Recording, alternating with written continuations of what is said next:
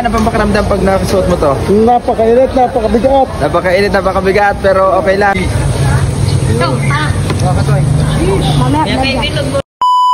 So ayun, what's up mga idol? Ngayong araw ay nandito ako sa bayan ng Bungabong. Opo mga idol dahil nalalapit na ang Holy Week at ang lalaking tao nila. Ayan yung iba o nag-aabang na. Si kuya hindi niya pa sinusuot yung kanyang maskara. Ayun no. At parang magkamuka kami. Parehas gwapo. Ganda ng costume ng mga Moryo natin dito sa Bungabong. Ayan. Nung bata ako mga idol, eh natatakot ako dyan. Eh tingnan mo naman yung itsuro. Medyo kamuka ko. meron pa dito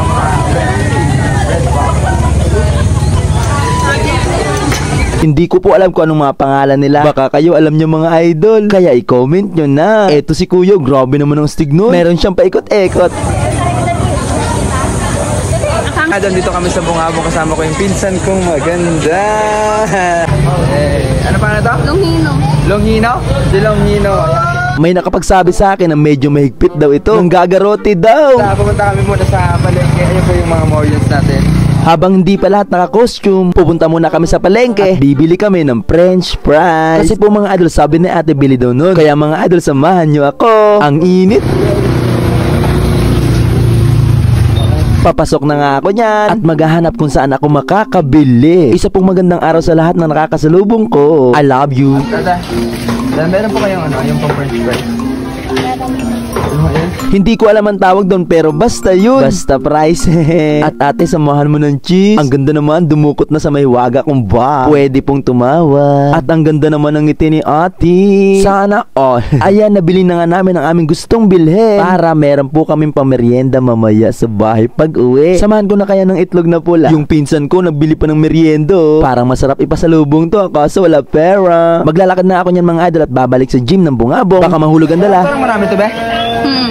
Okay lang. Sabi nga 'di ba, mas marami, mas masaya. Opo, masarap to. Na ate. Lang natin mag french fries. Dahil kakauwi niya lang pagbibigyan. At habang ako'y naglalakad, ayan mga idol, tingnan nyo, ang kulit-kulit ko naman. Sige Kevin, kembot mo Kevin, ikembot mo. ang kulit mo talaga, kuribong. Nakita ko ni ate, sabi niya, sayaw pa daw ako pagbibigyan. Palabas na nga ako niyan, shoutout po sa team mo, hello po. Isa pong magandang araw sa inyong lahat, ingat po kayo. Mga tricycle driver na napakasisipa. Nasa labas na nga ako niyan ng gym ng bungabong. Makikita ko na ulit ang mga nakakatakot na mukha. Nakakatakot pero sobrang astig. Picture daw kami. Okay. Okay, mga business sila. Gaganda ng mga suit nila. Yan. Napansin ko na parang galit sila sa akin. O talagang ganyan yung itsura nila. Gusto kong panoorin kung anong gagawin nila. Talabangan po natin yung uh, magaganap sa Holy Week. Ayan, ang Moriones napaka-astig, di ba? Nakakatakot. Nakakatakot pero mas nakakatakot kapag iniwan. Hehe, joke lang. Kaya ano pang pakiramdam pag nakasuot mo to?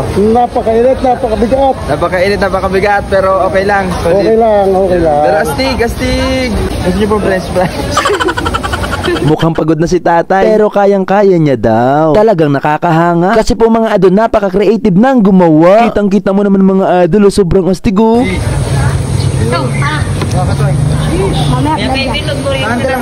Sabi ko sa susunod ako naman po ang sasali. Tayo mga idol ah, dito po tayo sa bayan ng Bungabong at kung nakita niyo po yung ating mga Moriones, napakaganda ng costume, napaka-creative, talagang uh, kakaiba, talagang kabang-abang ang mangyayari. Panoorin natin yung kanilang mga tatay. May pa acting-acting di ba yun? Uh, panoorin natin, abangan natin sa Holy Week sa 9 ata. Uh, pagkakalam ko po sa 9. Dito lang po sa bayan ng Bungabong. Uh, good luck po sa inyong lahat and goodbye to all. Enjoy! So yung mga idol, dahil naubusan na naman tayo ng damit na susuotin natin para sa ating pagpa-vlog. Ngayon po, dito ulit tayo sa retro, retro alley. Kasi po mga idol, yung mga damit ko naluluma na. Papasok na ako sa loob. Opo mga idol, bibili ako kahit isang damit. Para kahit papano, meron akong susuotin. Nakatawad ako ng konti. Thank you po, tito. Pinsan ko, kumain na agad. Opo mga idol, nandito na kami sa bahay. Ang ganda naman ng kulay ni Ampo. Yan po pala ang ate ko. Ayun no, sinubuan pa ako. Ang bait-bait naman ng batang ito. Ang ganda-ganda pa ng kulay. Sabi ko kay ate, gawan niya ako. Ayun oh. Wow, sabi ko damihan ha. Kasi po mga idol, masarap pala ito. Imbang merienda. Kinalog-kalog na nga. Upo na ako sa kabilang gilid. Syempre, dapat merong tinidor, mangkok at sausawan para komportable at ayan, kakainin ko na. Ang sarap naman ng merienda ko ngayong araw. Teka, parang kay ate to paborito ah. Mga idol, paborito ko na rin. Kasi masarap pala to pang merienda. Hanggang dito na lamang po ang video ko. Marami pong salamat. I love you.